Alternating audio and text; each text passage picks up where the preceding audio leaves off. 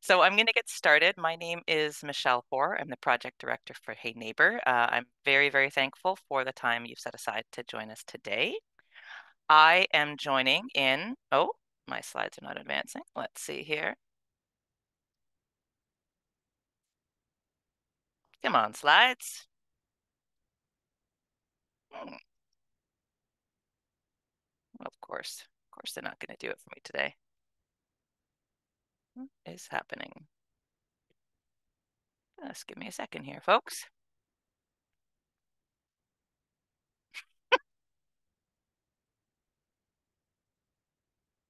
Don't know why. There we go. Okay. Who knows? There are gremlins in my computer this morning. So, as I mentioned, for those of you who uh, joined right away, my name is Michelle Hoar. I'm the project director for Hey Neighbor. Uh, and I feel very uh, grateful and privileged to live as a settler on the unceded territories of the Musqueam, Squamish, and Tsleil-Waututh nations, which are also uh, in my the part I live in anyway is known as Vancouver, BC. And we would love to hear where you are joining us from. So please uh, type that into the chat um, because I happen to know you are from all over the place. This is the biggest webinar we've had yet um, at Hey Neighbor. Uh, last time I checked, we were at 445 registrants, uh, everywhere from Prince George to Vancouver to Miramichi, US, UK, Brazil, Uganda, Netherlands, Sweden, Australia. It, we're it's in, very fascinating to me. Um, clearly, a topic that is uh, of a lot of interest. Um, and I'm excited to see what kind of uh, chat and conversation happens. Um, and not just from everywhere, but doing all sorts of really interesting things. So, um, you know, the largest group of you decided to remain a mystery, didn't tell us where where you work, and that's fine.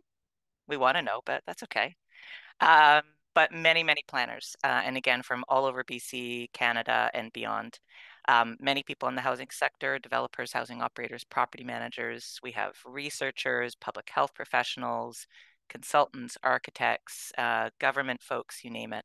So really, really um, nice diversity of participants too. And wanted to just make a special uh, welcome to a few folks that are the winners of this year's Urbanarium competition around decoding density.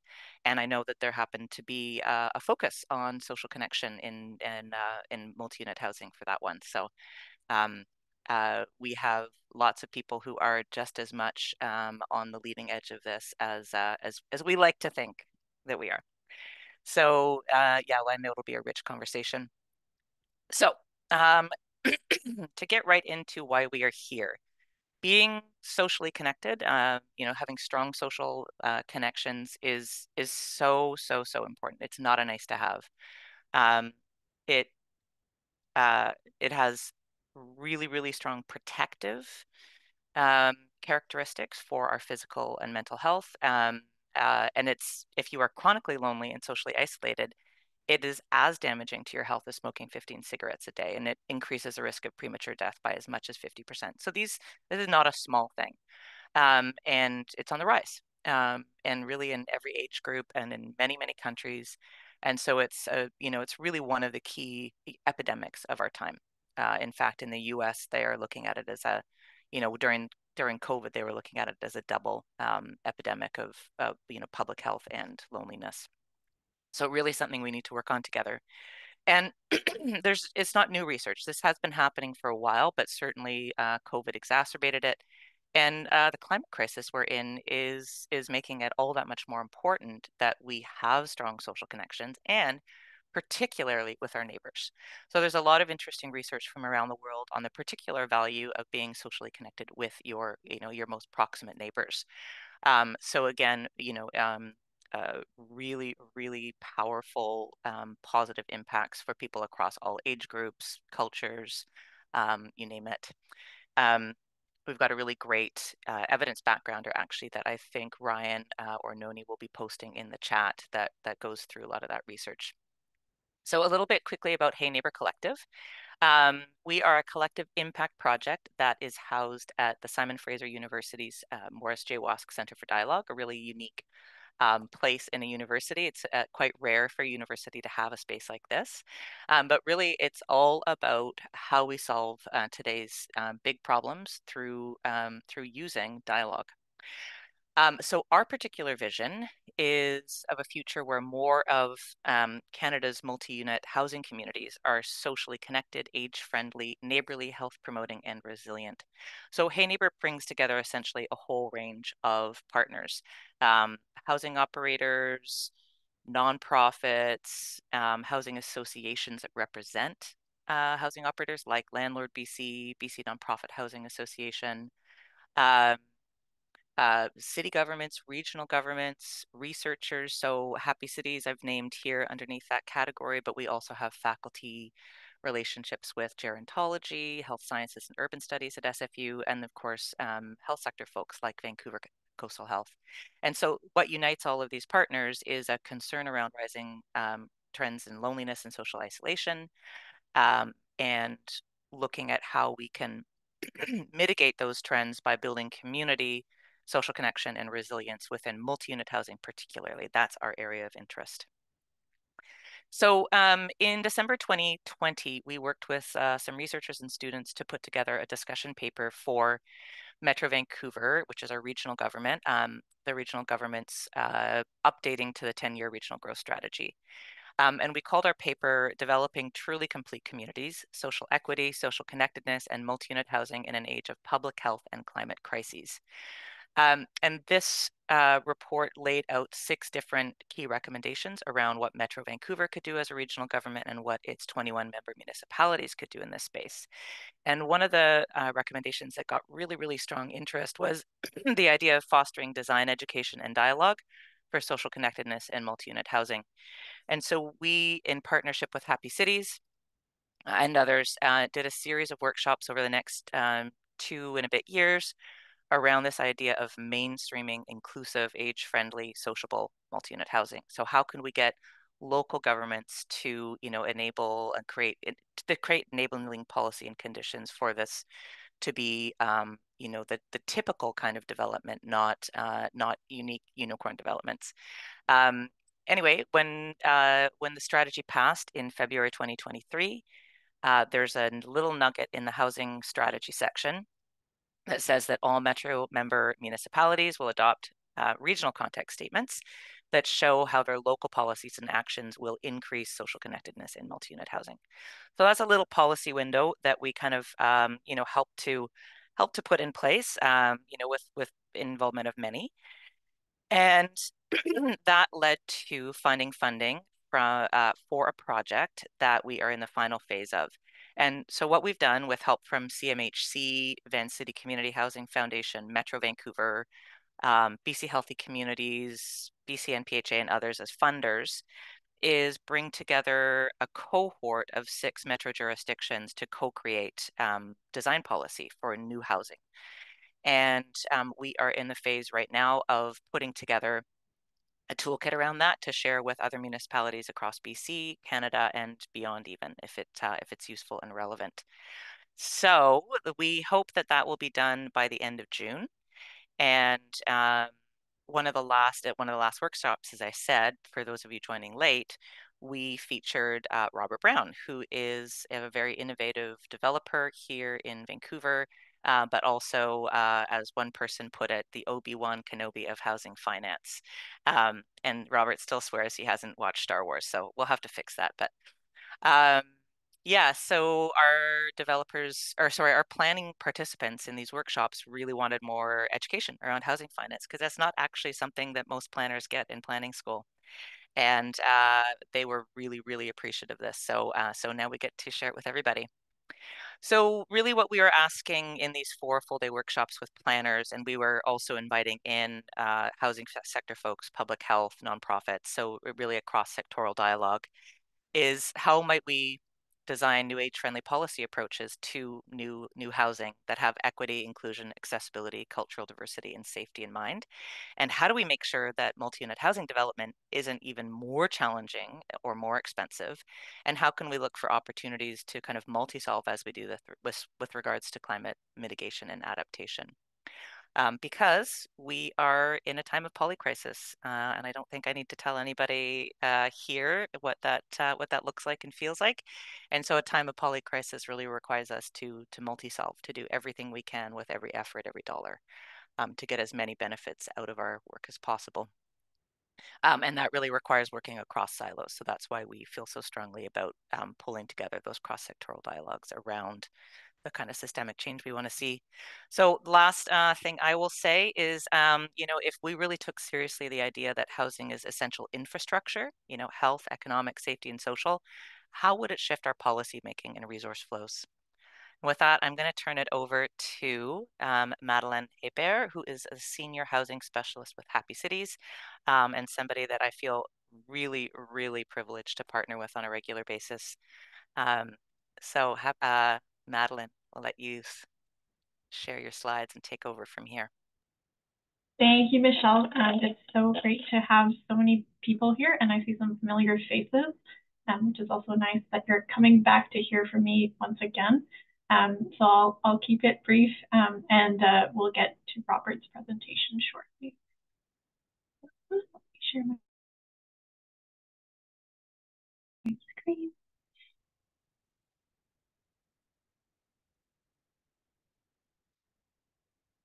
Looks good, Michelle? Okay. Um, so yeah, for the past uh, four and a half years, um, I've been with Happy Cities, and um, my background is actually in architecture.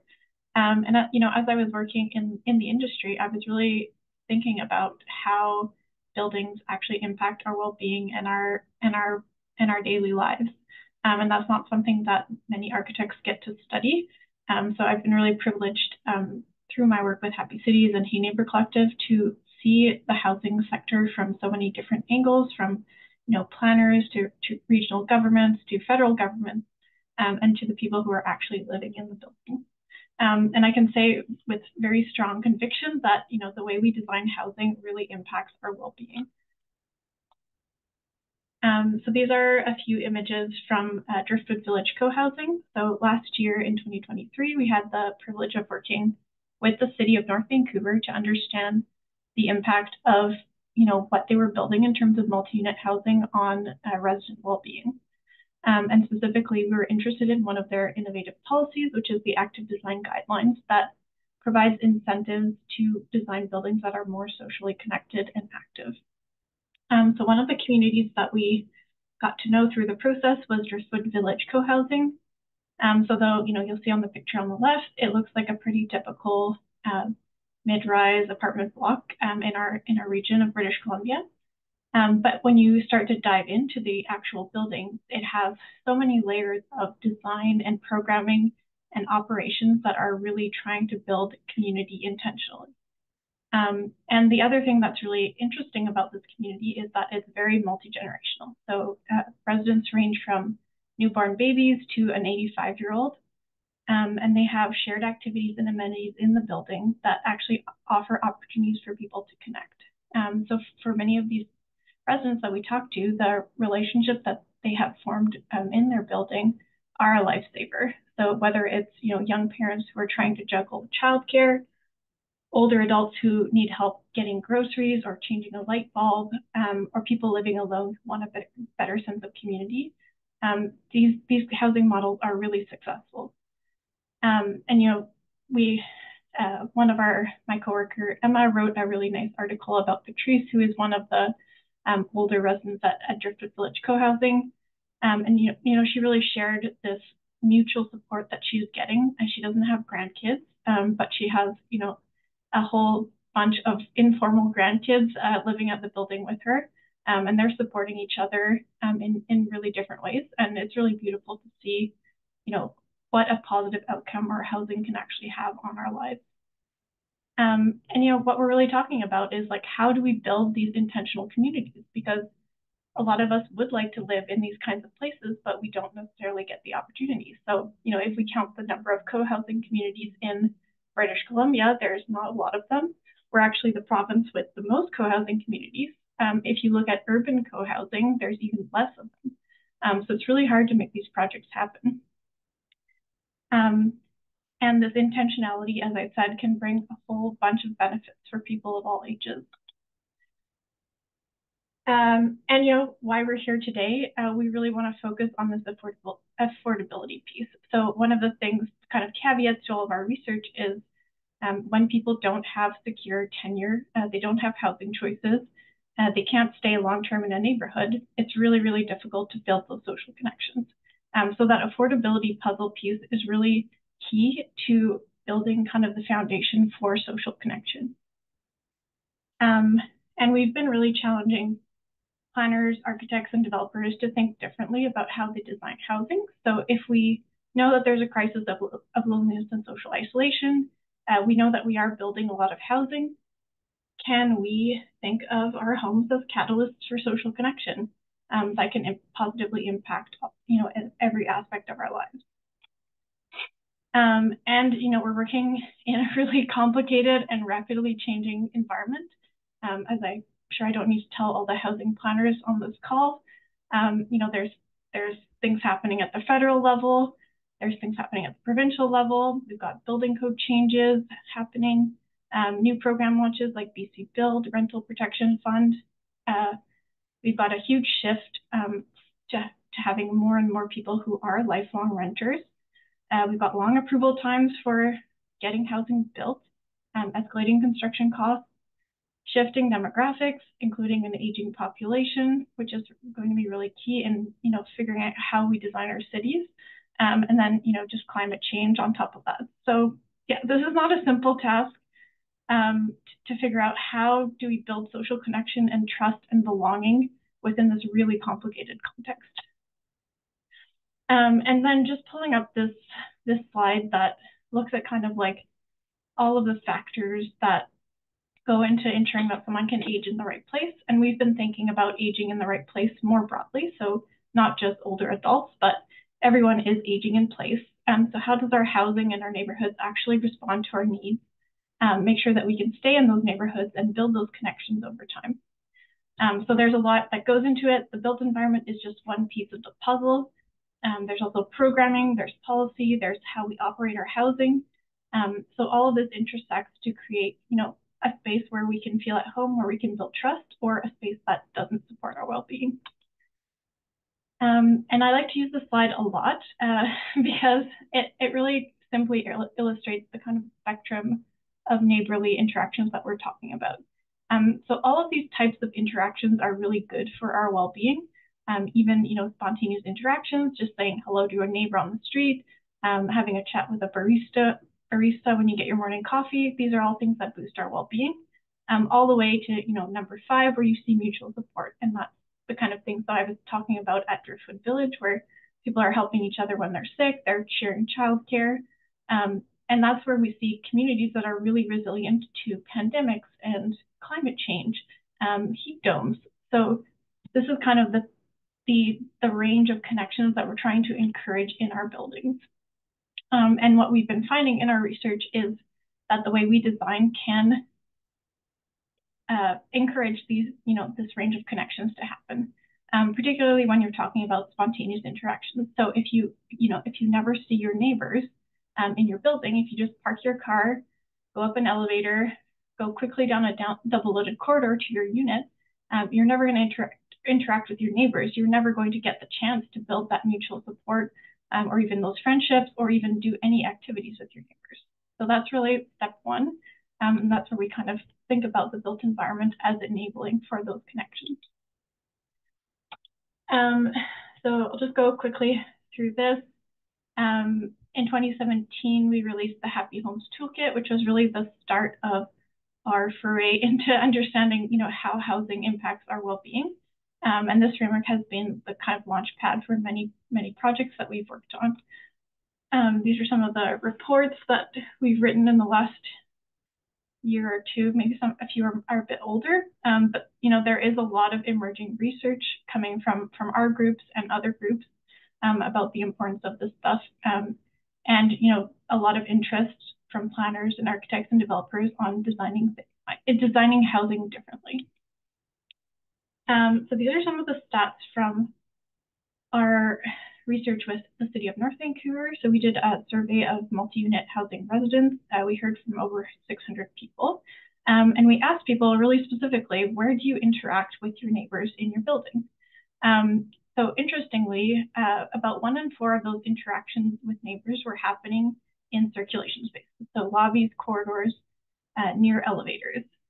Um, about one in 10 were happening in outdoor spaces like courtyards or rooftops. Uh, one in five were happening in the zone just outside the building where the kind of the build the public and private realm meet.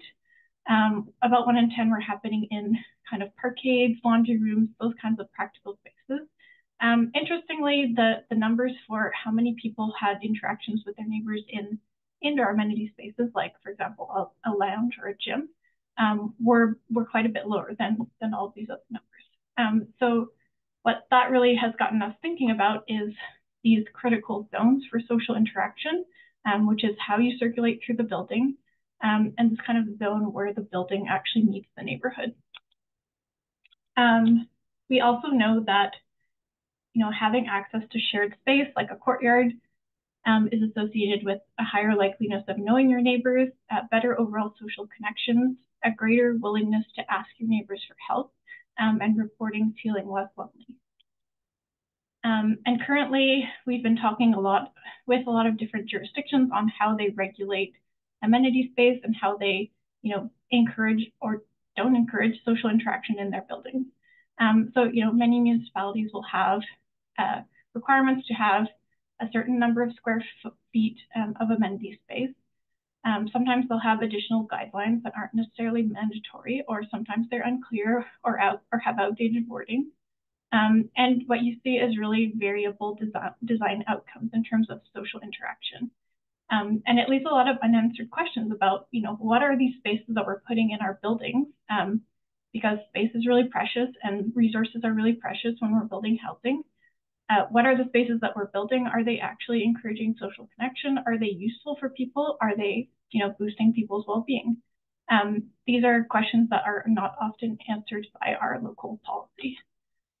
Um, and, you know, we're, we're thinking about, if you think about more of a person-based, outcome-based design rather than, you know, you must meet the certain square footage, um, you know, what are the kind of questions that you might ask if you put yourself in the shoes of a future resident? Um, so yeah, we've been encouraging this kind of outcome-based design thinking. Um, and then finally, I just wanted to go through a few design principles that we've been seeing um, in some of the buildings that we've been auditing that are, you know, successfully creating this, this intentional community. Um, so obviously, you know, beyond just the building, the way that our neighborhoods are designed, the way that your unit is laid out, um, and the kind of programming you have access to all, all also impact your social interactions. Um, and we also recognize that social interaction happens across all density scales, um, from high rise to you know single detached neighborhoods. Um, we've really been focusing on multi-unit housing forms, so probably like low-rise apartments and up. Um, but there, you know, there are solutions that are are emerging for all for all kinds of scales of neighborhoods. Um, so these are the kind of six design principles that we've been thinking about when designing spaces for social connection. So the first one is location, uh, interaction, activation, inclusion, transition, and evolution. Um, so location is really about thinking intentionally about where the, the spaces are located in within the building. So if you have, you know, a set amount of square footage that you're going to put as social space in your building, where are you going to put it so that it's convenient and visible and prominent and people see it every day and they want to use it every day? Um, and that's where we see the power of something we call co-location. So you'll see in this courtyard building, for example, they have an indoor uh, common space, they have a connection to the lobby, they have outdoor walkways, um, all happening in the same space with, with visible connections. Um, in the other building, we have a kind of a mixed use community with an integrated public space. Um, so you're really capitalizing on that social, those social connections that can happen at the edges of the building. Um, interaction, as I, I said earlier in our spectrum of social interactions, we really want to maximize the power of those spontaneous daily encounters with neighbors um, through the way that we design circulation spaces and functional common spaces. Um, and that might include creating, you know, comfortable places to pause and interact, making sure that the quality of those spaces makes people feel like, hey, I'm going to spend some time here. I'm not going to rush through. Um, so this this uh, multi-unit housing building, um, which is kind of senior focused, has a really great seating area um, right at the front of the building, and it's it's a really great social hub for for people to stop, um, talk to their neighbors rather than having you know an empty lawn, for example um, activation. So we really want to create a center or a heart for the community, um, thinking about diverse scales of common spaces, um, and really thinking about, again, that intentionality piece. So what is the person's motivation for leaving their unit um, and actually going to the space? Um, so, for example, this courtyard in this family uh, housing building has a lot going on. There's a community garden, um, there's public art, there's an informal play area, there's direct access to the laundry room, so you can be doing your laundry while your kids play in the courtyard. Um, we've got visual connections from the balconies above, um, and then an indoor-outdoor connection to this indoor space. So there's a lot of reasons why you would want to spend time in the space. Um, finally, inclusion. So we're thinking about, you know, what are the needs of different populations uh, when using the space. Um, and we want to think carefully about accessibility, safety, um, even cultural preferences and identities. Uh, so the seniors building, you'll see has widened corridors. They've got enhanced accessibility features with handrails. They've introduced natural light to make the corridor a lot more comfortable space as, as someone might be walking through it slowly. Um, and they've created these nice little seating nooks with artwork, a community notice board, uh, so you can go read your newspaper and chat with your neighbor um, transition. So this is something that's really important in multi-unit housing. Um, if we don't feel like we have a sense of privacy, uh, an opportunity to retreat, uh, we're, not, we're less likely to want to have those positive interactions. So thinking intentionally about things like, um, you know, active edges with stoops, uh, transition spaces, and then thinking carefully about livability of units. So uh, this particular unit has higher ceilings. and they've got really great acoustics in the building, so you feel like you have this uh, safe haven to retreat. And then when you're when you're out and about, you you feel more likely to want to connect with your neighbors. Um, and finally, this last concept, uh, evolution, um, is really about allowing residents to develop a sense of belonging through the personalization and stewardship of common spaces. Um, so allowing the spaces to evolve with residents over time. And this is one that's really tricky um, for multi-unit housing. So uh, co-housing does this really well. These are two spaces at, at Driftwood Village Co-housing, the building I talked about earlier. Um, so you'll see this kids activity room, which is really dedicated to the kids of the building. Um, you know, they can can do what they want in there. Um, it's a great great space to burn off energy. Um, and then the other space that they have is a workshop so a lot of uh, residents downsized from, from single detached homes when moving into this multi-unit housing building. Um, they brought all their tools with them, so they have also a place to, you know, do projects, build a birdhouse, whatever you want to do. Um, but these really functional spaces that people can can actively use are really important. And uh, that's the the end of my slides. Uh, so thank you very much for listening, and uh, I'm going to pass it over to Robert now. And Robert, I'm actually just going to interrupt for one second because I realized I stopped one slide short. Uh, so I'm just going to quickly share a slide once. Uh, okay, there we go. I am going to share the agenda slide that I missed because people might be wondering what to do about questions uh, and question period. So, okay, I don't know what what view you're seeing here, but I don't care. I'm going to be fast. Um, so um, we're going to turn it over to Robert. He's going to have half an hour. And then our first question is going to come from um, Emilie Adin, who is the uh, chair of the board for Planning Institute of BC and also an adjunct professor with the UBC School of Community and Regional Planning. Then we will go to audience questions. So please start typing up your questions in uh, the chat box. Noni and Ryan will be looking for overlap and themes uh, and then suggesting questions we will close at 11, but if people want to stay another 15 minutes to continue the Q&A, um, all of our speakers are willing to do that. So we'll feel that out, but, um, but you can also uh, pop out at 11 if you need to. And with that, I will stop sharing and I will turn it over to Robert. All right. Uh, well, th uh, thanks, Michelle, and thanks, Madeleine. I, I just love the uh, love the visuals. It made it makes it always makes it real for me uh, when we see what we really mean by by this social connection. Um, so, um, firstly, thank you for inviting me here today. I anyone who knows me knows I love talking about housing. Um, I especially love talking about housing when it's with a group of people that are are clearly committed to creating what I would call beautiful, healthy, and sustainable housing in in our communities. And and clearly, by looking at the list uh, of people here today, uh, that includes all of you guys. So thank you for being here, and um, also really thank you for uh, what you're doing in the world. Uh, you're clearly trying to create amazing housing, um, and you're trying to make a difference. And I, I, firstly, I just really wanted to acknowledge your commitment to that. So thank you for all that you're doing out there and complementing what we're trying to do here. And um, so that's um, yeah, that's where I wanted to start. Um, uh, great to see such a range of of people here today. Um, uh, just to quickly cover off, I just give you, I'll give you some background uh, on who I am, so you know who this this talking head is.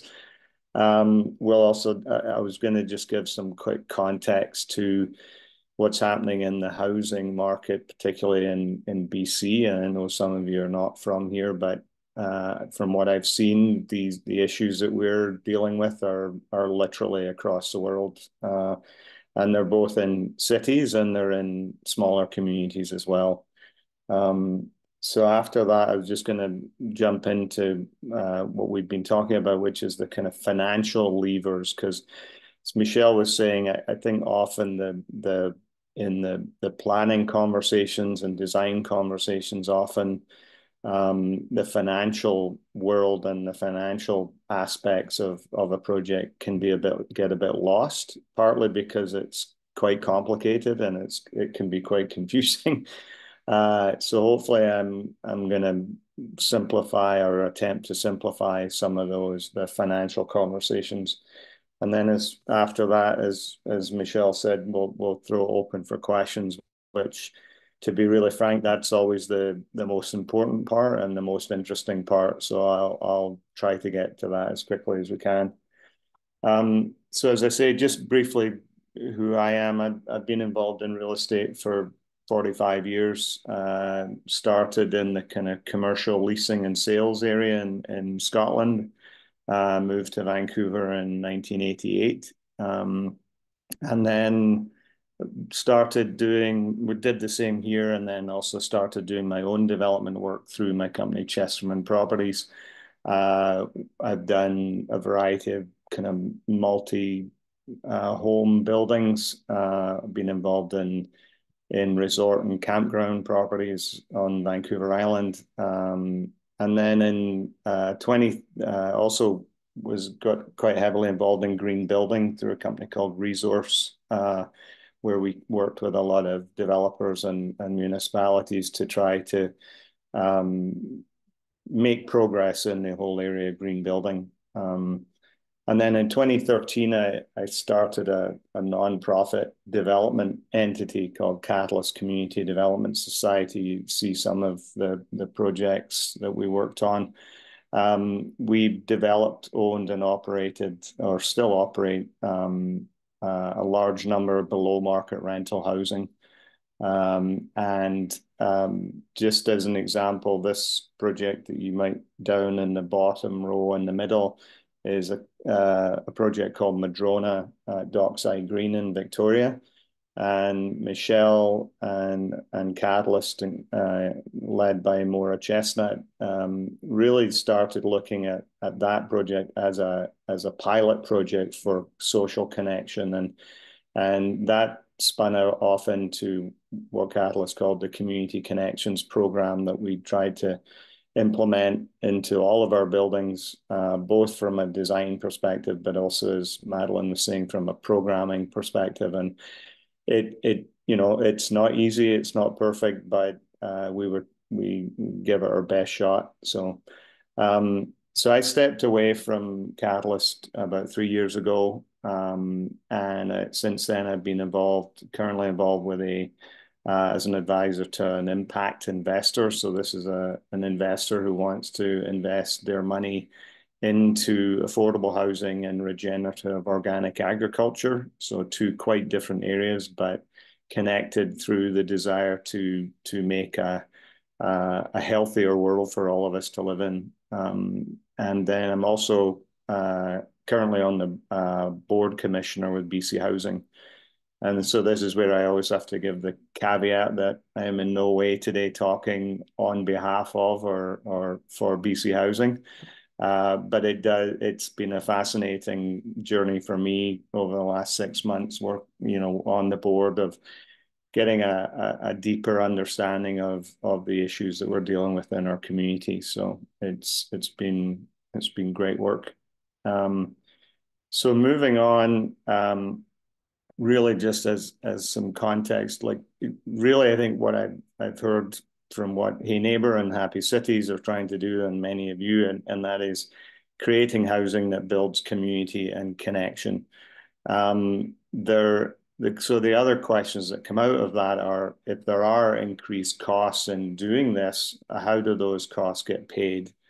Um, and then at the same time, as Madeleine uh, quite rightly said, you know, we can create buildings that are socially connected, but if people can't afford to stay in them, or they or they don't have security of housing, that's a that's a major issue. Um, so we we need to look at the what are the current financial realities of creating market and non-market housing and then what are the levers that we can can pull in order to make that housing more affordable to people based on their income um, which kind of segues into my my take on you know I often get asked why do we have a housing crisis uh, I try and boil it down. I, I, I highlight these three numbers on the left, bottom left of this slide. Now, these numbers are slightly outdated. Uh, if anything, they probably got worse. Uh, but these are numbers based on, on the greater Vancouver market. So in those 16 years to 2017, uh, condo ownership condo prices rose 365%. Rents went up 75% and incomes went up 18%. So, so right there, you see the fundamental issue that we have now is that um, home prices and even rents have become disconnected completely from what people are earning. And that's the core issue that we're we're dealing with from an affordability perspective. We've seen a huge increase in house prices uh, that was worsened in the pandemic, um, especially in smaller communities where people were relocating from larger urban areas, selling homes, and and quite adversely impacting the home ownership market in smaller communities because they could work uh, remotely. Um, and um, the other part of the equation is that many local residents are being priced out of, of moving into the ownership market um, stayed as renters. So the number of renters increased. And that was exacerbated by a, a lot of new residents moving in, and many of those re residents are are in, at least initially are renters. So we're adding more demand on on the rental housing that we have. Um, we also saw and still see a limited new supply of rental housing. And so with all of that put together, you've got a huge increase in the demand for rental housing, which pushes prices up. And on top of that, and I'm not saying this is a bad thing, but in BC we have protection for renters if they if they stay in their existing homes. Um, the the amount of rent increase is limited by legislation. So, but but in a time where the market rents are increasing dramatically, you see very few people moving because they they need to stay where they are to to benefit from those lower rents. Um, and then the last piece, just to make matters worse, we've seen a, I saw for many years a loss of existing affordable market rental housing. So these are older buildings and there was a lot of pressure on them to um, they were being bought by developers and they were being renovated and rents were increasing dramatically. Um, as as Madeleine mentioned, though, we have a little bit of light at the the tunnel in that area with the Rental Protection Fund in BC, which is a, a, a, a an, um, basically a large uh, contribution, funding contribution was made by the provincial government for $500 million to help nonprofits buy market rental buildings and retain them at the affordable uh, rental level that, that currently existed. And we've seen a great uptake of that program and it's really making a difference. So, so that's the kind of what I would say is the market rental or the rental market context that we're we're currently working in. Um, and as if that wasn't kind of hard enough, um, we're also seeing, we've seen in the last two to three years, a significant increase in interest rates and in the cost of building new housing. Um, so, and this is where we get into kind of the dynamics of of the market and things like you know land prices um, the one of the issues that we're currently deal, dealing with is that developers have purchased land at, at prices that were based on significantly lower interest rates and significantly lower costs. So they basically paid for this land based on those assumptions. Those assumptions have now changed, so they basically have overpriced land. So they're they're struggling to make any kind of rental projects work, and I'm I'm sure the municipal planners on on in the room today uh, are hearing that from developers, and uh, I, it, it's not it's not untrue. It, it is a major issue, and what we're seeing also is that as developers are saying, well, we can't afford to pay as much for land now uh, but you're seeing a resistance from landowners, especially those that don't have to sell. So we're kind of stuck in a little bit of what I would call inertia. Um, and um, th that's why we're part of the reason why we're seeing fewer new rental buildings being built. Um, so last couple of points just to make on context. Uh, there was there somebody trying to talk? Okay um, is that whereas density can be our friend sometimes in, in helping reduce the overall cost of land, it's not the be all and end all. It's not a magic bullet solution. And, and often that has been the case. We say, well, we'll just add density and that will solve the affordability issue. It, it, it doesn't always work that way for a number of reasons, but we'll, we can talk some more about that. Um, so the um, that's really what I wanted to say on the the context side of the equation. Um, the what we're we're um, there is some uh, interesting dynamics happening in the in the rental markets and in this market anyway, and that is that there's there's a lot of um, there's many of the suggested approaches that that Madeleine walked through are are already being adopted in the housing that is being built. Um, partly because of the good work being done by municipalities and and um, asking and and uh, incenting developers to to create that those those design inclusions, and it's also being driven by what people want uh, in the housing, the people that are going to live in the housing. So it's we're, we are seeing a lot of rental projects uh, becoming quite amenity rich. So we're seeing better amenity spaces. We're seeing dog washes. We're seeing better bike parking. We're seeing a lot of these, you know, we're seeing urban rooftop agriculture. Uh, all of this is is because people are are asking for this and and the developers are realizing that they that they need they need to demand or they need to provide these amenities in order to be competitive um, but there are these larger financial challenges that exist um, that I that I wanted to talk about so I'll just um, switch gears here to um, another uh, another slide here. Uh, and so for those of you who are not familiar with with project financials, please don't be freaked out by the fact that I'm about to present an Excel spreadsheet. Um, so this is a this is a, a very simple model that that we've created, and what I'm I'm trying to do with this.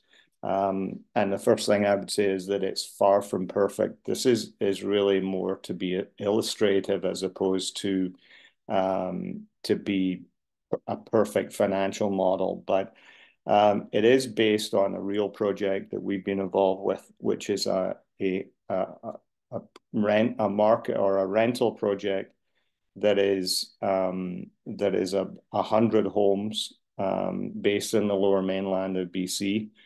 And what we're trying to do here, if you can see on the on the left hand side, we've got all of the or the major components that make up the cost of a building.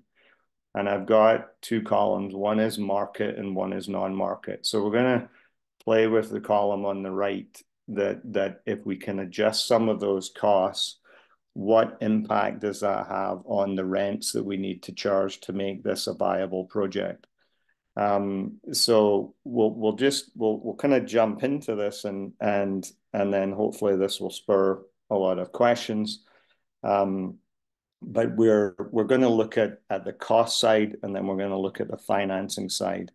So really what we're any project that's trying to deliver more affordable rents is trying to do is firstly what can we do to reduce costs? And then what can we do to finance those the costs that we do incur in a more efficient way in a more financially viable way? Because the lower the cost of financing that cost uh, the lower the rents we need to charge. So that that's looking at it from a, a non-market perspective. Uh, the market will continue to charge whatever the market will bear from a rental perspective. Uh, so if they can decrease their cost and improve their financing, that would improve the return to them for the for on the on the market project. So we'll just we'll jump in. We're going to look at these costs. So uh, often in the mark in the non-market projects, so the non-profit projects that I've been involved with, one of the key areas, because it's a, a very significant cost, is land. Now, uh, we have I have done projects with uh, where municipalities have contributed that land at, at a basically a, a nominal cost, a very low cost. Um, we also have done projects with with nonprofits and churches who already own land. Um, now, sometimes that land contribution is conditional upon a new church being built or a new program space being built. So that cost has to be considered as, as a land cost, but we can see um, we can see the impact of that. So if I if we are fortunate enough and and over on the right here you'll see these project costs, but then it's it correlates directly to what the average rent per month is over here. And right now both market and non-market are sitting at $3,500 per month average, which down below that you'll see is six, just over $6 a square foot. So as context, this is not a viable project right now. And, and this is one of the issues, again, as you'll see later, is the cost of financing makes these is a, a major factor in why these projects are not viable. So, but just going through some examples of what can happen. So if we do get municipal land, I'll just basically take that land cost to zero. And you'll see that uh, over here on the right under the non-market. So we're seeing that that has decreased that project cost. If everything else stays the same, is reduced the cost by 11%, right? So that's a, an example, a, pretty major example of what can happen.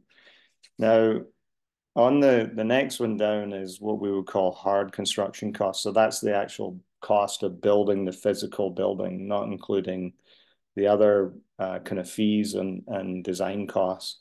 So there's actually our experience has been there's there's not a, a, huge amount of leverage that we can put on those costs. Now, we obviously can focus on uh, how to design the building more efficiently.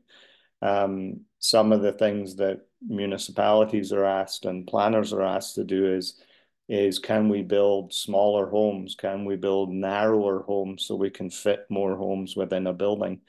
those to me, if, if the design is done properly, can be quite advantageous to getting these um, buildings built more efficiently and more cost effectively.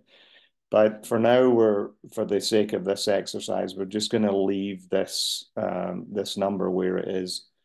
Um, municipal fees is the next category, and I've split out. And again, in Vancouver, we've got municipal fees, we've got, and then we have Metro Vancouver and TransLink fees. Um, that's been a quite a contentious issue recently, as some of you know. But um, so, but just to to play around with that, and uh, we have when we've done non-market projects and and other uh, in some cases market rental projects have have achieved a reduction in these these municipal fees because the municipality is trying to incent the, the building of market and non-market rental housing. And but there are still some municipal costs that are charged in these. So I, I'm going to just take that down to a, a more realistic number. If if a in this case, I'm assuming two thirds of those fees are are waived or exempted from the municipality. So that makes an additional impact of about 1.5% on the on the cost side.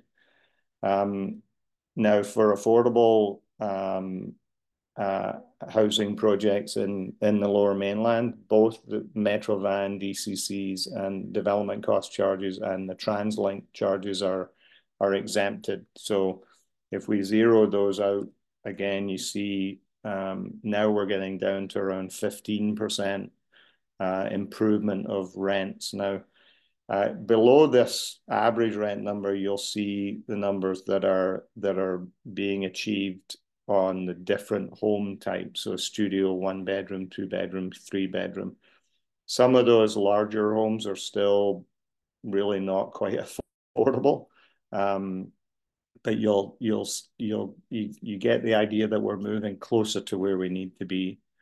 Um, the consultant uh, costs, um, again, um, there's there's these are really market costs that are not um, are quite difficult to impact. So what we really try to focus on in trying to deliver a more efficient project is is consultants who really get efficiency. They get the idea of working with a budget. They are super creative at building and design or designing and building buildings that are efficient from both a cost perspective, construction cost perspective, but also from an operating cost perspective. So for now, we're just going to leave those costs where they are. Um, excuse me. So on the um, construction uh, financing, and I've broken the financing piece into two. One is the, this is the cost, the interest that we pay while we're building the building. So this is the construction loan cost. And right now, just as a frame of reference, we're looking at if a market developer is paying market construction costs, they're paying around eight and a half to nine percent interest, which is quite a staggering number. That number two and a half years ago was about three and a half or four percent. So we've seen a, more than a doubling of interest cost. So if we can get back through creative financing and support from from lenders to a to a, a more realistic number, uh, I'm going to pull this down to uh, roughly half of that. So again, we're all of these items are you're now at a quite a significant reduction in cost. GST, uh, as we all know, for rental projects is now exempt uh, with a certain timeline. So we're going to zero that out. and now we're down at about 17.5% below below the cost. Um, the the last item on the cost side is is profit or return on equity. Now, when any developer, whether it's a non-market developer or a market developer, they they do need to be compensated for risk, right? And um, the way a market developer would typically look at a project is how much uh, is first of all is a return on the cost. So you have this total cost number, which is in this case right now sitting at about $50 million before you take out the profit. And I've used a number of 12% of the cost as the profit. More importantly, or as importantly, the developer also looks at how much actual cash do I need to invest in this project. So the the more they can borrow against the project, the less cash. It's like it's like us buying a house. If we can buy a house, you have your mortgage, and then whatever's left over is your down payment. It's the same in a market development situation. So often they're they're they're as interested in in what is the amount of cash that I have to invest and what's the return I get on that cash. So, uh, but on the non-market side, um, really uh, the the non-profit developer is saying, I just need to look at how much if I need to to invest cash or equity into this project, what is the cost of that money for me? Now, if I have that money myself, if I can do a capital campaign or I can raise it in other ways, um, that the cost of that is basically zero. But sometimes, and this is where groups like Impact Investment comes in, or groups like Vancity Foundation have invest money into projects, and they need a they need a return on that. So when I looked at this, you know, there is a cost to this equity for a project, even in a non-market scenario. But you could probably we can probably bring that down to around a million dollars. That's the real cost of of any equity that we need to provide. So now we're down to, as you can see on the right here, 23% of a reduction on a market uh, on a market rental project. We're now down at, at studio rents of around $1,500 a month, which is, you know, a little bit lower than the market in, in Greater Vancouver, unfortunately. Uh, the higher higher rents are are still a bit challenged or the larger homes are still a bit challenged from a rent point of view. So now we get into the financing piece and to try to keep this simple. Um, at the end, typically in a construction project, you have your construction loan and then you have your long, what I call your long-term and it's sometimes called a takeout loan. So these are, this is your five to 10 year loan that you, you take out um, on completion of construction that is the mortgage that you're paying off both principal and interest on just like a home mortgage over the while the project is is working and operating so the three components of that financing again i'll try to keep it simple but are the three uh, three pieces one is the interest rate one is the what we call the amortization, which is the number of years that the loan is paid off over. And then we have what's called a DSR, it's called a debt service ratio. So this is the is really the buffer in the project. So a lender, if you're earning, say, a million dollars of income on a building, they don't want their mortgage payment to be a million dollars because then there's no buffer right? So they they build a buffer. Any lender will build a buffer into a project. At at 1.2 debt service ratio, that means there's a 20% buffer on that project. Now, for below market rental housing projects, uh, some lenders will reduce that that number. So if you reduce that number, it means you can you can you have more money available to pay a mortgage. Therefore, you can borrow more money Therefore, you need less cash invested in the project, if that makes sense. So I'm just going to to to play with these numbers and you'll see the impact that it has. Now, if I can reduce the four and a half percent number to three and a half percent, it doesn't sound like very much, right? It's it's it's only one percent. But if I change that, notice we've gone from 23% below market to 30%. So it makes a dramatic difference in the in the in the rent that we can we can reduce our rents to. The other the second piece is, or I'll go to the debt service ratio. If a lender like a CMHC or other lenders who are you know backed by the federal government will will reduce that to that debt service ratio, that buffer I was talking about. And again, there, if we change that to just 1.1, which again doesn't sound like very much, but it makes another 5% difference on our rents. And then the another big component of the financing piece is is amortization. So if I can spread the mortgage off over a longer period of time, my mortgage payment comes down, right? Some of you may have seen that in your in your home mortgages if you have one. Um, and right now, um, again, CMHC as an example, uh, backed by the federal government, are now allowing amortizations up to 50 years for non-profit, non-market projects. And so we're currently sitting at 34%. Now we go up to 44%. So now this is kind of the blue sky world. This is where everything works perfectly. We get we get a land contribution, we get support from municipalities, we get better financing, we have no GST, we can reduce our cash requirement or return expectations, and then we do a, a significantly improved long-term mortgage.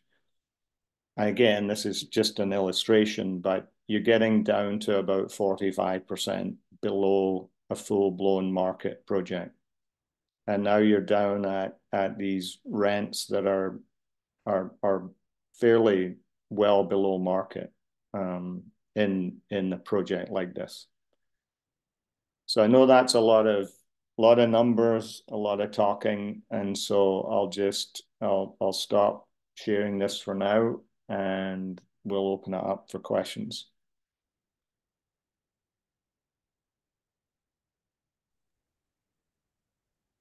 Robert, that was wonderful. Thank you so much. Um, and uh, we'll we'll make sure that we share this video, of course, with uh, with everybody that's here and and with others, so that you can watch that a few more times again if you need to. You know, take it to your Yeah. your colleagues in your city, to your elected officials, to your MPs and MLAs. Uh, so uh, yeah, we'll make sure that that's available after this. Um, so I'm going to turn the first question for the Q&A period over to Emilie Adin, um, but also just remind folks to pop your questions into the chat. Um, if we don't get to all of them today, what we like to do with these things is uh, have a blog post afterwards that has the video, um, and uh, any extra questions that weren't answered, we'll get um, Madeleine or Robert to answer those for you in the blog post. Um, but uh, Emilie, what uh, why don't you launch us off with our with the first question? Great, thank you so much, Michelle. Um, I'm really pleased that you brought me in uh, to ask the first question. And as I think Robert knows, I'm a longtime fan of his and, and really appreciated the presentations from him and from Madeleine.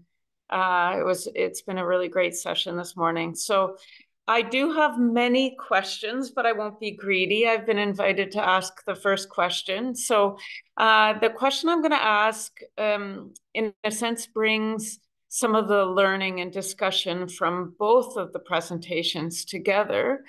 Uh, we heard from Robert that building more efficiently and cost effectively would help bring down the hard construction costs, um, which but that could be seen to be at odds with some of what we also heard uh, this morning. Uh, I guess it's not the morning for everyone that's joined us, but uh, at odds with some of what we've learned about uh, designs uh, of increasing chances of intentional community. So my question is, what are the opportunities uh, to optimize efficient design without losing that goal of building intentional community? And also, do you ever see situations where the hard or, soft costs exceed for non-market uh, exceed the average of what you would see for private projects because I do see sometimes there's a struggle there uh, or um, a trade a potential trade-off between both of those sets of goals. So so that's to Madeleine and Robert, I suppose, and maybe Robert could start us off.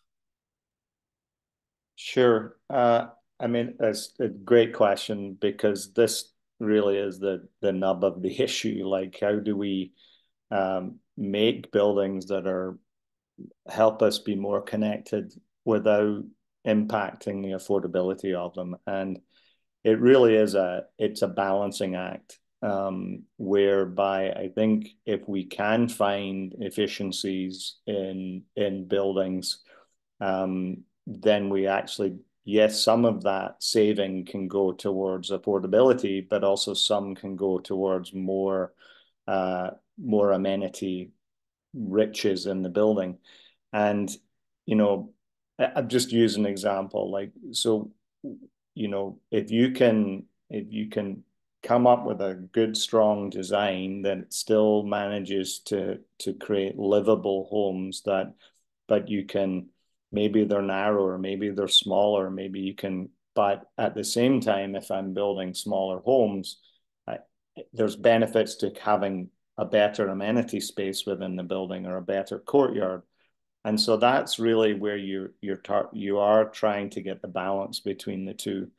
And we when we uh, as an example, Catalyst first project was in was in Victoria. I mentioned the Madrona building, which is where we piloted this uh, community connections program, and this met a lot of resistance. But when we took on the project, it was originally designed as a townhouse project for sale project. So we, or that was the concepts that had been designed for the site.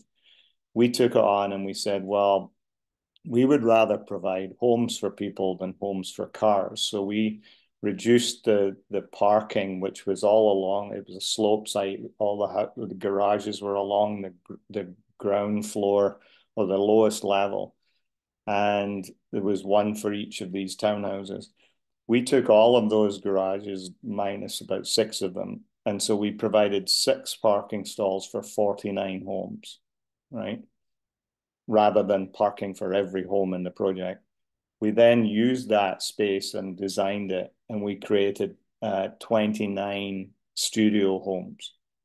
Now, those studio homes were between 250 and 300 square feet each, and people were going, What?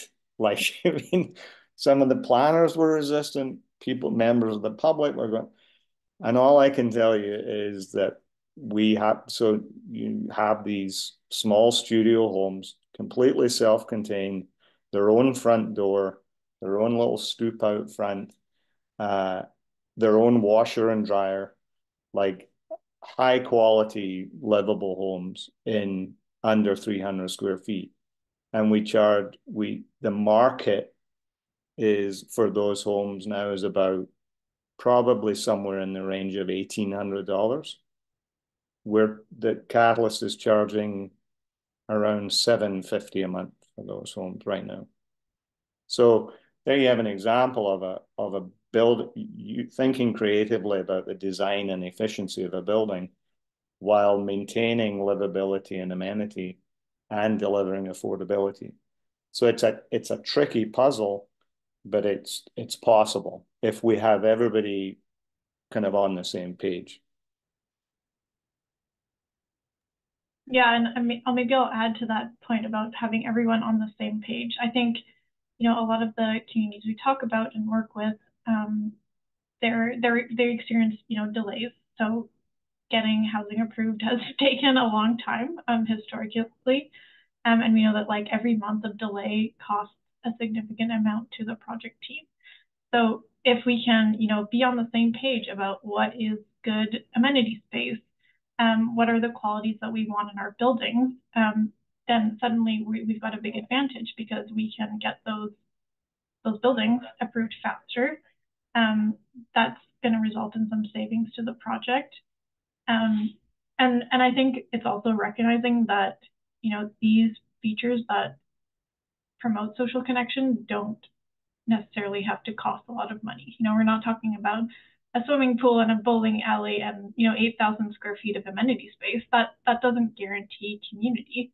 Um, but what you see in the the buildings, like you know what Robert is talking about, is like these really well designed and well thought out features. So you might have you know a social housing building that has a limited amount of interior amenity space, but maybe you decide to do a, a laundry room that's right next to your lobby and connects to the courtyard, and that suddenly becomes, you know, dual purpose. So you're you're saving money um, on having this kind of shared laundry space, but it also becomes a really high quality social connection space uh, where you know you're doing your laundry and your kids are playing in the courtyard. Um, so you know we can think really practically, and same with like for example parking reductions. So um, another one of the urban co-housing communities that we've we've talked to is Little Mountain in Vancouver. Um, they were able to get parking space reductions from the city of Vancouver. Um, and you know, instead of instead of putting parking in their in their underground, they they have a music room and a and a woodworking shop. So they were able to really like it wasn't a huge cost to put those rooms in, but what they needed was that that parking reduction to actually make it happen. And I'll, I'll maybe just add to the this question of, of timing. And I, I know that any planner on this call has been taking a lot of, I would even say abuse over the last few years about permitting times. And I, I, I just, first of all, want to acknowledge how hard the job is that you guys do. Um, and we have, I've also experienced, uh, to Madeleine's point, where if everyone is on the same page, things can move very quickly and very effectively. When we worked on a project at Catalyst with a, a church at um, the, Oak Ridge Lutheran Church at 41st and Cambie, we had a, a combined rezoning and development permit application in for that project. And we got from application date to public hearing, third reading in seven months. And so that that's that's what's possible if but everyone has to be on the same page and everything everyone has to be looking for we, how can we expedite this project process so um, and then I totally agree with Madeleine parking is is a massive issue I'm, I'm really excited to see that projects some projects now I've seen it in city of North Vancouver where they're approving rental projects well located close to transit being being having no parking. As I mentioned, the project in in that we did in in Victoria at Madrona was 49 homes and we had six parking stalls. Now it was a five minute walk from downtown Victoria. It had co-op cars, it had bike rooms. We even gave residents a bike. Uh, so it's transit passes. Like there's ways to do it, but it and it has a massive impact. Like as I say, we we converted what was going to be parking garages into homes. That to me makes sense.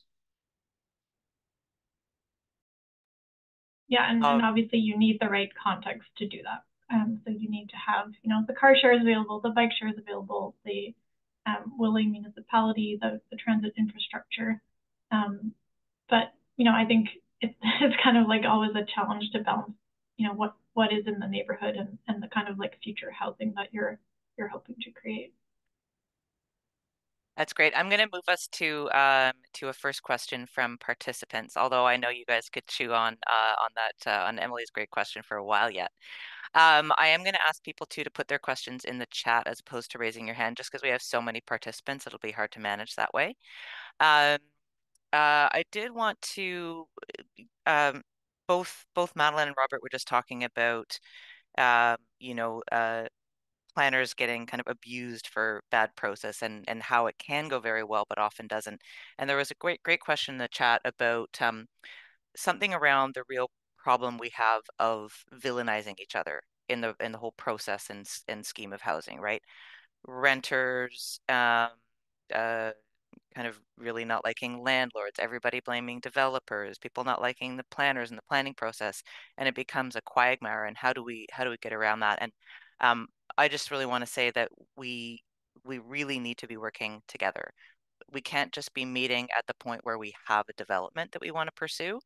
Um, we have to be meeting way, way, way before that. And I think that our workshops that we did, you know, over the fall and uh, and early winter were really about that. It was really about that sustained cross-sectoral dialogue so that people on different sides of the equation can learn from each other and actually work towards policy and practices that that work for everybody, right? Get everybody's needs met. Um, and and kind of end that like the finger pointing, the incessant finger pointing we do on housing. Um, Ryan, do you want to launch us uh, into our, I guess we're answering the second question because I just answered that first question around the quagmire of finger pointing. Yes. Um, so let's uh, let's go to you, Ryan, for the first question from Perfect. from Thank participants. Thank you. We have um, a very amazing chat going. Um, lots of great questions that we will hopefully, if we have time, we can go a little bit past eleven. Um, but one question that came up, um, it's a little bit um, taking a, a, bit of a turn. Someone asked in the chat, are there any municipalities that are considering modular housing as an opportunity to reduce construction costs? Um, and I think uh, I'll float it to the group at large. Um, Robert or Madeleine, if you want to take a take a crack at that, or Michelle. Uh, I'll I'll take a stab at it. I I I I would suggest that all, if not most, municipalities would be open to and would encourage modular construction. Um, I, I don't want to pour cold water on the idea uh, because you know I think there is a place for modular housing. Uh, where I've seen it successful is really in two areas. One is in in what would is sometimes called rapid response housing. Uh, City of Vancouver did their temporary modular housing uh, projects, uh, built 600 homes very quickly. About I think it started about five years ago, six years ago.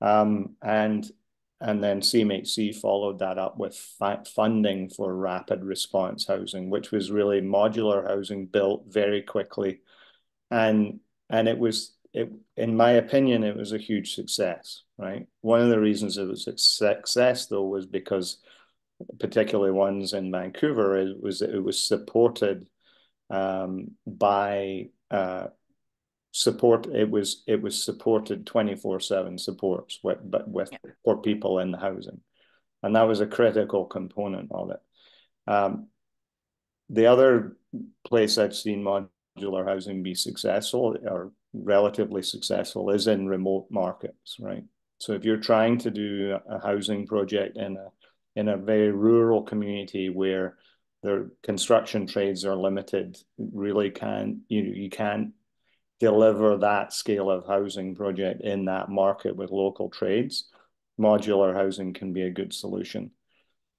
Having said that, the I have not I've been involved in a couple of modular housing projects directly. I've seen lots of others. I've we tried to we looked at, at modular housing with when I was at Catalyst. We got it costed and the cost of modular housing compared to conventional stick frame housing. I'm talking for larger multi-unit projects was just simply not competitive. So I'm not saying it's not never going to work. I'm just saying that the industry has to find a way to be more efficient. But I think it's actually more about what's the application. Like trying to build a, a six story modular building with very, you know, studios, one bedrooms, two bedroom, three bedroom homes, but in modular construction, I think there's a it's a, there's a big gap there of mm. of because I don't think it's the right application. Whereas the the the rapid response housing, as an example, was well suited because it was all studio homes. It needed to be built quickly so it's a, as much about the application than it is about the actual technology or form of construction.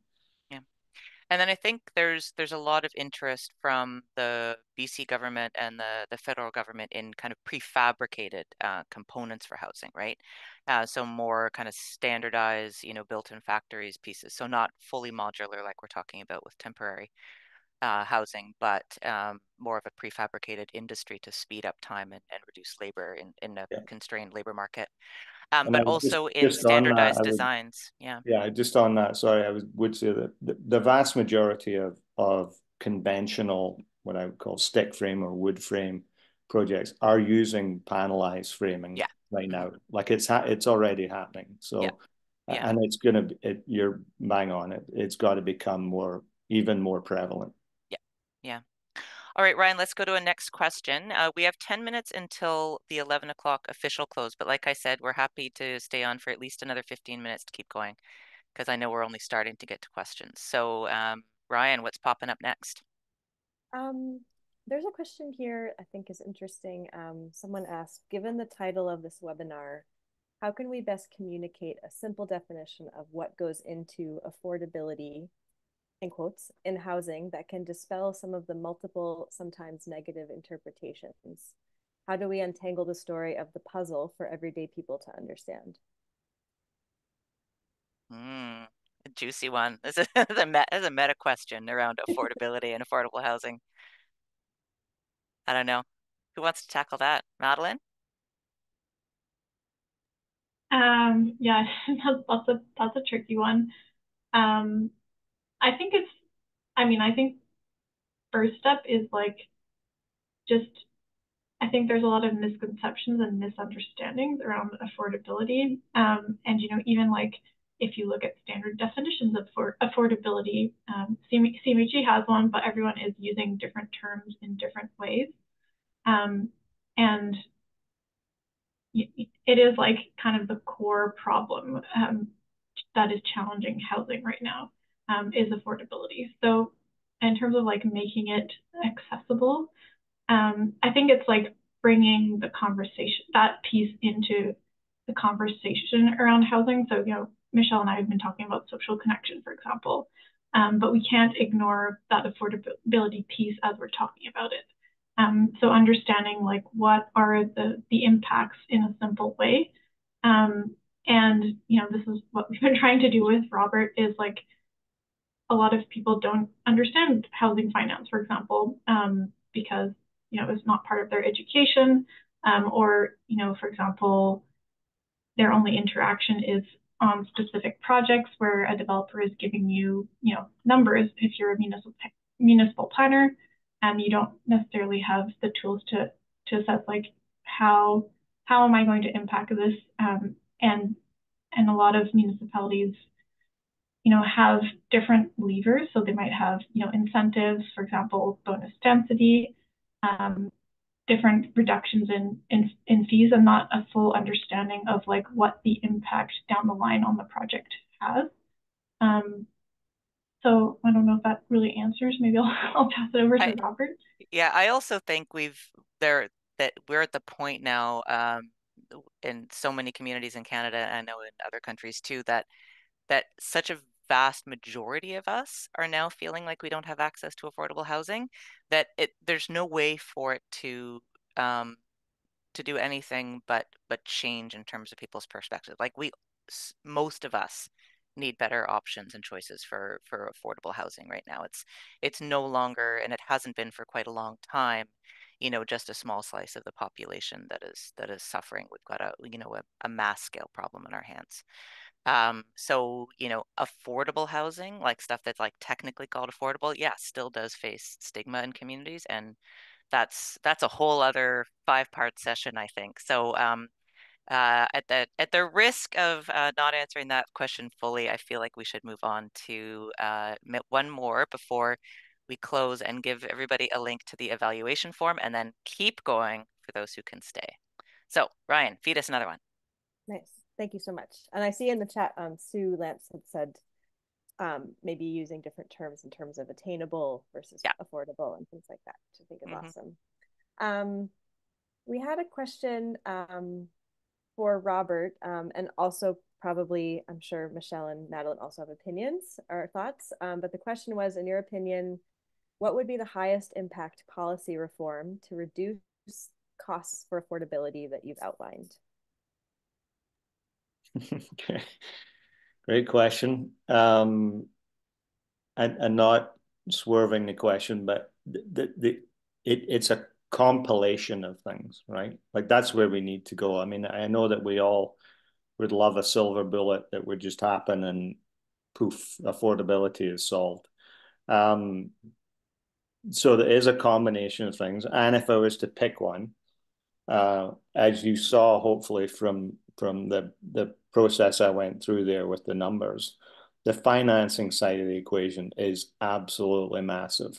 Like it, it it's the one that has the biggest lever, and and you know, right now, if I'm building a a below market rental housing project, um, that that um, the interest rates are probably somewhere like three and a half to four percent, somewhere in there. Like would be if I funded it today. Uh, three years ago, that same project would cost me somewhere in the range of 1.2 to 1.5% financing.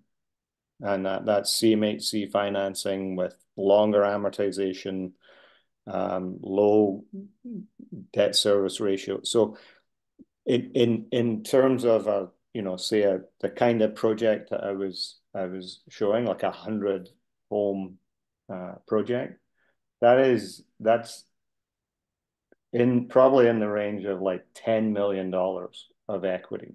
Like it's the difference right? So as far as levers which lever can I pull and which is going to have the most impact? It's it's it's long-term financing costs like what can I borrow against on this building based on rents? Because if I can decrease the cost of my mortgage, I can charge lower rents, right? So now, again, the federal government has done a, I would say, a, a very good job over the last few years of bringing in programs that are that are delivering low cost financing.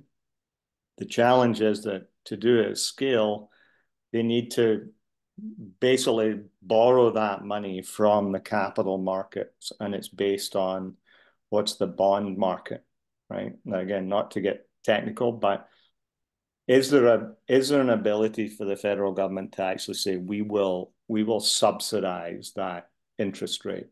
So even if I were borrowing the money from the bond market, is there a way to you know us to subsidize that interest rate? And then I, I think that's the that's how to have significant impact, right? And I think this goes back to my comment about how we need to see housing as essential infrastructure, right? Yeah. Health, economic, yeah. safety, you know, um, you know, we need to take a different mentality to to that that really critical finance piece. Um, okay, so Ryan just popped a link uh, to our evaluation survey into the chat for those of you who need to leave right at 11. Um, and please, we would so appreciate you taking like three, maximum five minutes to fill that out. Um, so one of the one of the questions we'll ask in there is actually about um, projects that you know of, live of, worked on that are um, you know affordable or attainable, that are socially connected, because um, we'd love to hear about uh, great examples out there in Canada and beyond. And we will pop some of those examples into the follow-up blog post we do. Um, so as people, some people leave and some people stay on. Ryan, why don't you uh, give us another question? And thank you again for everybody for taking time with us. And, and thank you again to our sponsors as well for making this possible. So thank you to CMHC, to Vancity, to Metro Vancouver, and to BC Nonprofit Housing Association. Amazing. Thank you. Um, all right. So another question we have here. Um, for buildings, I think this is maybe uh, general. There wasn't a person specifically assigned. Um, for buildings that have both non-market rental and market strata units, amenity spaces can be challenging because there may be demand for amenities, but they can be cost prohibitive for non-market operators and tenants. Hmm. Um, this person was wondering, um, hearing from the panelists, if they have any experience or comments on this challenge. Uh, I can jump in on that one. Um, it's a it's a very interesting space this because um, at Catalyst we were involved in we've been involved in a number of projects where we we've acquired uh, what's some kind of called inclusionary housing. So the affordable housing component built by a market developer as part of their give to uh, in return for the rezoning for a market condo project. Uh, we acquired 31 homes in a in a, a block um, in a project in Richmond, and it was it was a very successful project. It took a long time to put together. Um, it um, but basically what we ended up doing was buying a, a what's called an airspace parcel. So it's a separate legal title that that, that contains these affordable homes. So it's actually not part of the strata, right? And and it's and interestingly though, you know, mayor and council were very interested in, and some staff were very interested in, in in the non-profit below market rental housing uh, being sprinkled throughout the building. So it would be rather than 31 homes in a block, it would be 31 strata titled units sprinkled around the building. And I somewhat facetiously said at the at the development permit hearing, I said we need that we need these homes to be in a block because if we're minority share strata owners in a 300 unit strata, and the strata decides we want to hire a concierge, that's 60, 70, 80,000 dollars of operating costs that we're going to have to pay our share of in operating this building. And I said, with all due respect, our tenants don't need help organizing their ballet tickets, right? So it kind of got a bit of a laugh, but it was it was making a point that th that we have to be in control of our costs because we have a we've got a different set of objectives, right? And so I think that's a long answer to I think the question is that there's a way to for each of those blocks of of homes to have their own amenity spaces. And in the case of this particular project, we also we then shared a large outdoor rooftop deck area with a children's play area and a barbecue area and all the like. That was that was perfectly fine because you know the cost of maintaining and operating something like that is very limited. So I think that it, it's finding a balance of what space do we need, what space do we need to have control over, both from a physical perspective, but a cost perspective. And then what are the spaces that we can share uh, so that you get that kind of call it the more more connection. So that's the, a, a kind of real live example of how we try to balance out those competing yeah. interests. I feel uh, I feel like this could be that that question could fill a whole other webinar just on its own. You know, because as as more and more of our communities do have uh, inclusionary housing and inclusionary zoning models, um, we're going to see a lot more of that, and people, you know, I think it'd be good to communicate some of the kind of best practice examples of of how you can do that. Yeah, Madeleine, did you want to weigh in that one, or should we move to another question? I just wanted to add something quickly, you know, going back to Robert's point is like going back to that intentionality. So, um, you know, what are the different groups that are going to be housed in that building? Um, and kind of like what are their, you know, their, what is their framework for, for feeling well and safe in a building? Um, and you may find that depending on, on the mix, um, it may be that the solution is to have separate spaces because they have specific needs or um, you're looking at a trauma-informed design approach, um, but you may also find that, like as Robert said, there's opportunities for for mixing and sharing, and then you know opportunities to create smaller spaces where you have those smaller social group sizes where mm. a nonprofit operator can bring in their program and really build community among those residents. Very very contextual, as many things are. Brian, what do you got next? Awesome. Thank you so much, everyone. Um, how can municipalities encourage more community centric design without adding more layers of regulation and bureaucracy? And in brackets, they added adding delays and costs. Madeleine, I'm going to turn this one over to you for some thoughts about all the things we were talking about with planners in our workshops. Yeah. Well, not all um, of them, um, just this one specific. Yeah, it's it's a complicated question. Um, because you know every municipality has layers and layers and layers of policy. Um, and you know, for a long time, we our planners have been reactionary um, because things move quickly, and you know, context is always changing. They're like, oh, suddenly we need you know a guideline or a requirement for this, and uh, we don't always have time to to update those, understand where they fit in with the whole context. Um, so that's something that we've been challenging the municipalities that were partnering with us to look at their, you know, their policies holistically um, and understand, you know, what have been the outcomes of these policies.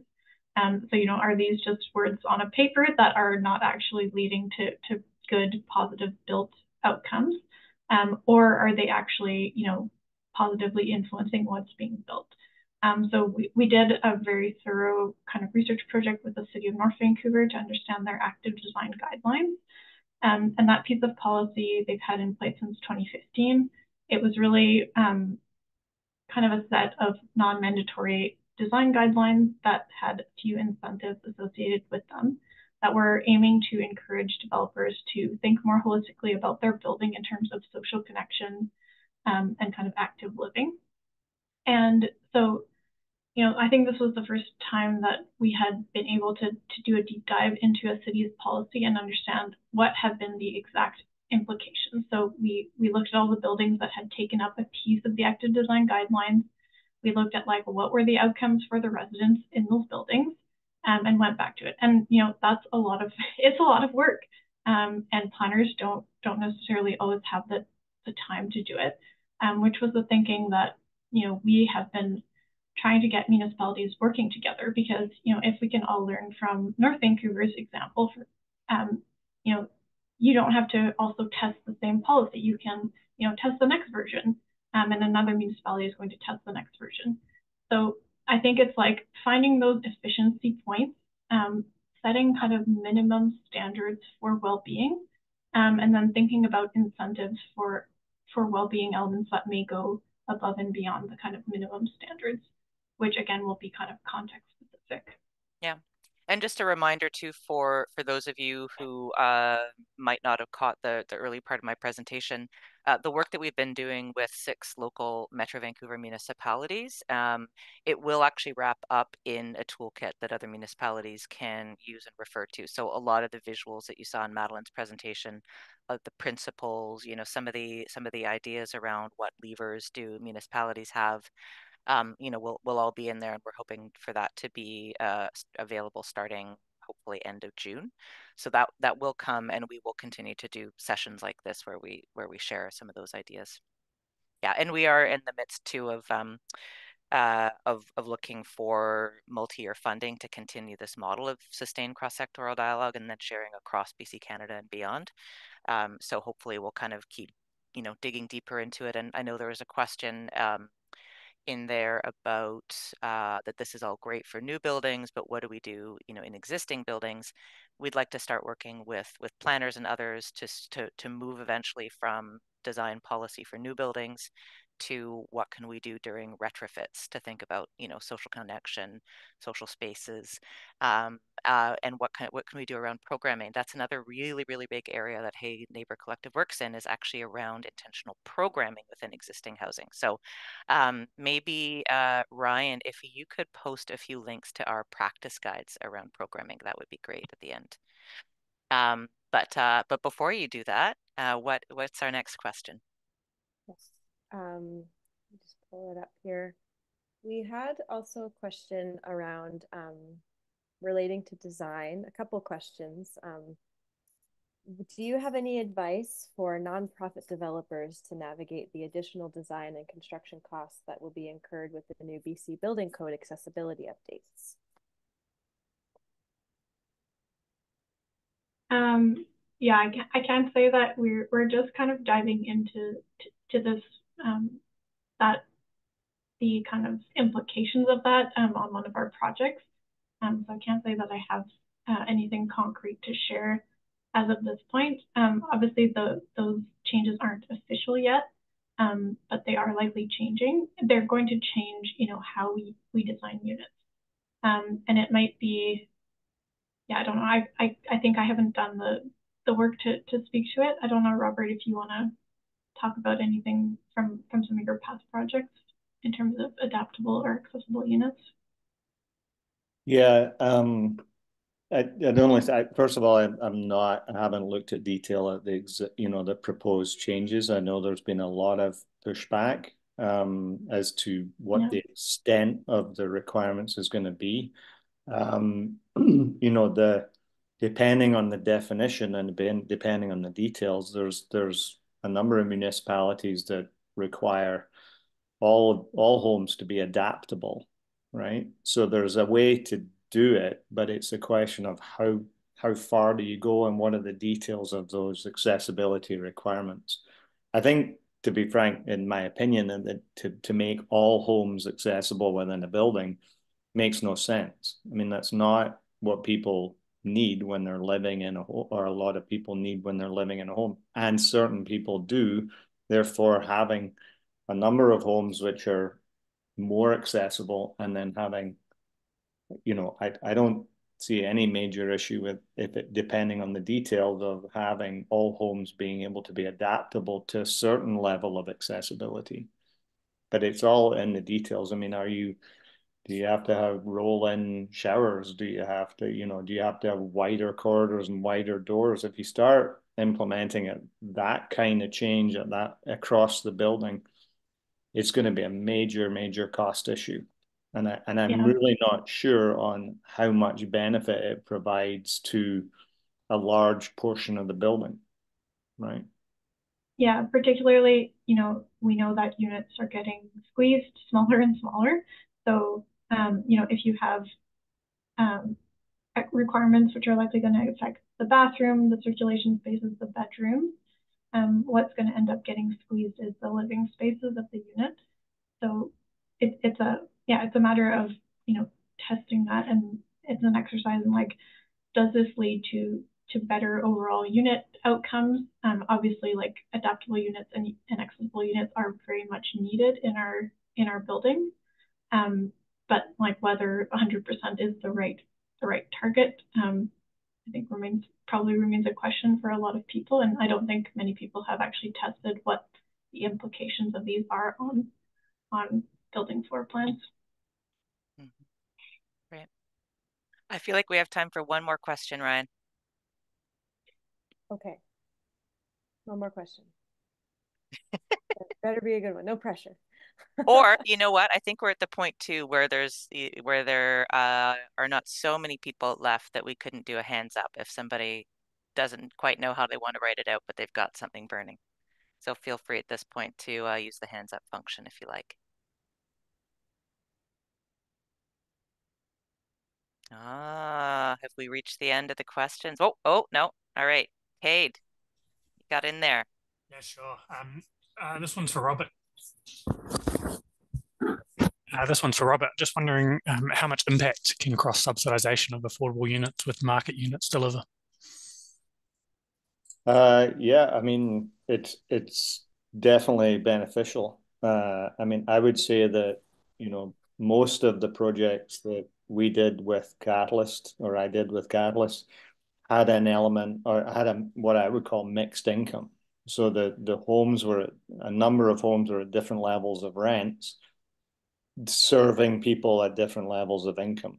And so there was de- in that respect there was definitely a cross subsidization. And you know, if you don't have a level of cross subsidization like that, really fundamentally what it means is you need a significant grant contribution because something has to make up the gap.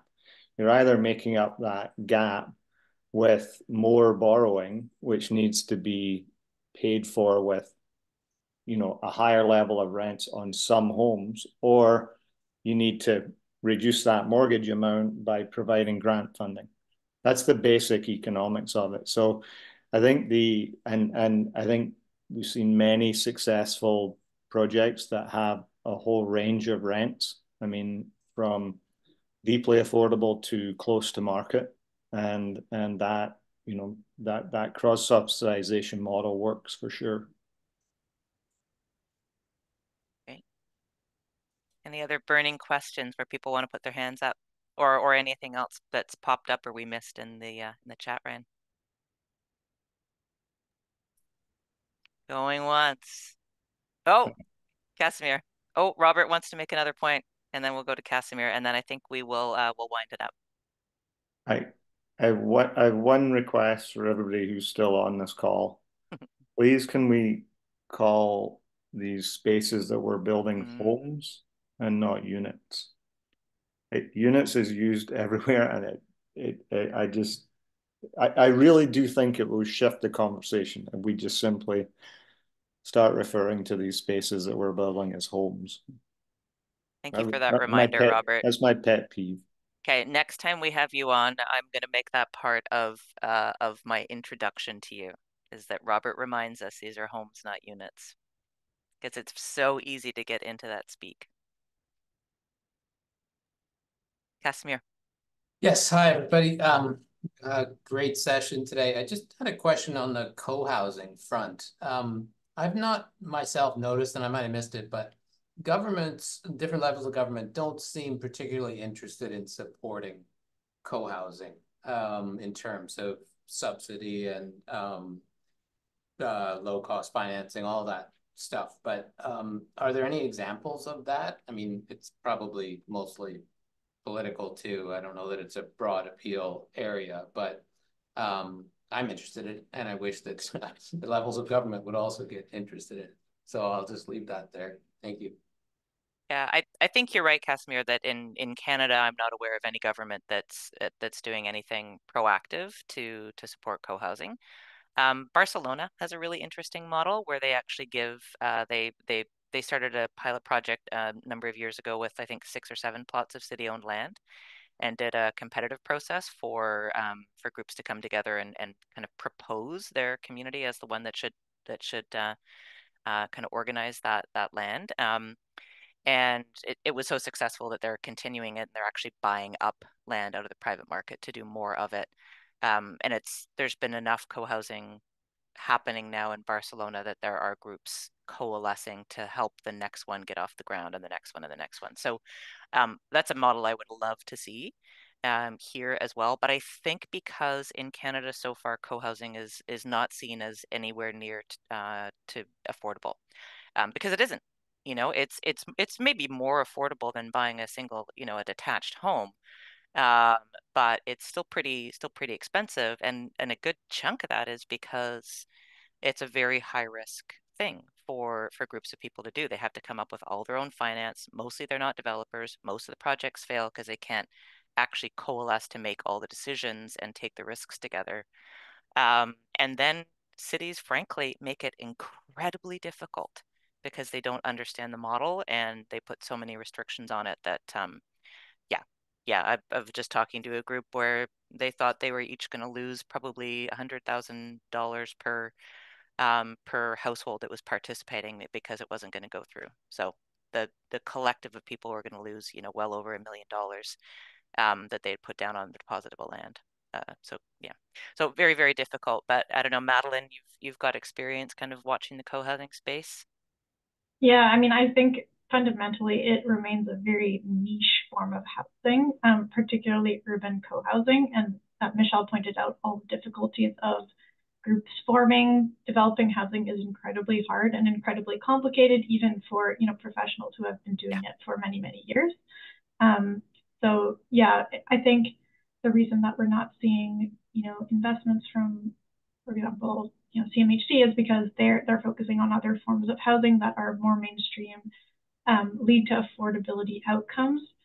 Um, and you know, co-housing is very much still seen as, this kind of very niche housing that is, you know, benefiting largely higher income people um, in our cities. Um, doesn't often include rentals. Um, so, you know, a few of the projects in, in Vancouver and, and North Vancouver have included a few affordable housing units, um, but it's quite difficult to, to include those and make them actually work work out. Um, so yeah, Yeah. It, it remains yeah quite a niche. But but again, like more education on on what it is, and the reason that I use a lot of co-housing examples is because they do such a beautiful job of intentionally thinking about social connection, and you know how can we pull some of those ideas and principles into you know regular market and non-market housing. Yeah. I think too, uh, one of the one of the areas where it's going to be really important to uh, to to start supporting models like co-housing is for um, for older adults, right? There are very very few downsizing options that are at all attractive, um, uh, but that is one. Uh, and I know I don't know if Sue Lance is still on the call. I know she was until a while ago, but um, certainly a lot of people who are you know active in in advocating for more kind of options and choices for older adults. Um, you know, it's a huge one, you know, and it doesn't have to be just older adults. It's not just golden girls, but, you know, intergenerational models where, um, you know, where it is easier to uh, develop the social connections that help people to age in place and and contribute um, in in later years, right? Like we have this terrible notion that when you're old, you just retire and you're off golfing, you know, and but there's so much that you know older adults can be giving back that's that's beneficial to them and and and everyone they live around so and i count myself as one of those emerging older older adults. Um, so i want to see a lot more options like uh, like mainstream co-housing out there for sure all right. I think we could probably keep going for another hour, but I will uh, I will be respectful of our presenters' time and uh, wrap this up. Thank you to everybody who uh, stayed on the call even longer, and thank you to uh, to Robert and Madeleine for your for your time and for all the preparation and all the work that you do. Um, thank you very much, and uh, I hope that everybody has a great day. Okay. Thanks, Thanks for listening, everyone. Bye bye, and and please do make sure to take a, a, a quickly click on that uh, evaluation link and give us your thoughts. That was excellent. Thank you very, very much. You're very welcome. Thank you, Laura. Have a great day. Thank you. Gives me some hope. I've been homeless for two years. Oh my goodness, Laura. I'm so yeah. sorry to hear that. I'm so sorry. I'm a, I'm a house sitter. I live in other people's beautiful homes, but it can't go on forever. I'm 83 years old, so yeah. You know what, Laura? Mm-hmm. I I know another woman in my community who's in that same place. She does a lot of house sitting for for other people, and yeah. in between is living in her car. And oh. I mean, she's just a wonderful person, and there's just so there's so little out there. Yeah. Yeah. yeah. Tell her tell her to join Trusted House Sitters. That's what I do. I always have a place to stay. Trusted House Sitters. Okay. Yeah. All right. Is yeah. that an online platform? Yeah. Yeah. Yeah. It costs money to join. Maybe you can help her out with that. But I, there's there's 20, no, five new ones a day in British Columbia. Amazing. I actually didn't know about that site, Laura. Thanks for thanks yeah. for letting, oh, letting us know oh, about oh, it's that. essential. Yeah. I, I would be living in my car without it. Yeah. And I'm not going to let our dear government have that satisfaction. Good I'm for you. Going to be free. Good for you. Uh, Laura, can I ask you a quick question? Uh, Yes. because because we are still recording.